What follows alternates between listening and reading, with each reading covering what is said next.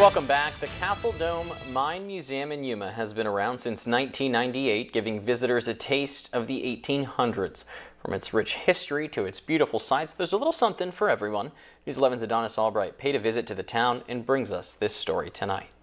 Usually, when you hear the term ghost town, you tend to think of a rundown, dilapidated place. But the Castle Dome Mining Museum is a perfectly preserved mining town from the 1800s.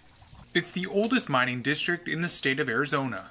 Castle Dome has been uh, the longest worked mine in the state, and it keeps reviving itself. First established in 1864, Castle Dome City is the heart of the Industrial Revolution that swept America. Then in the 1860s, modern prospectors arrived and Castle Dome City started to flourish, and it became larger than Yuma in 1878. Alan Armstrong, the founder of this nonprofit museum, along with his team, have gone to great lengths to keep this historic site perfectly preserved. From its several saloons to workshops with all the supplies just as it was more than a century ago, this town's roots run deep.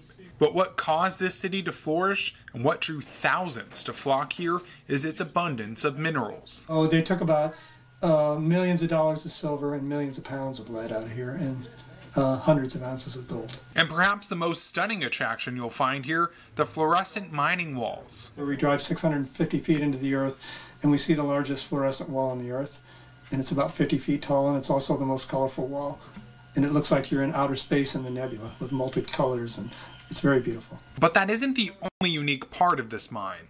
The farther in you go, you start to experience a phenomenon called the negative gravity anomaly effect. What that means is the Earth's crust is lifting up, and when it's lifting up, it's negating the effect of gravity. Armstrong says the town is an attraction that you can't fully get to see everything it has to offer in just one day. The Castle Dome Mine Museum also plans on adding several new tours next season. For more information on the tours the museum provides, just head over to our website, kyma.com. Reporting in Yuma, Adonis Albright, News 11.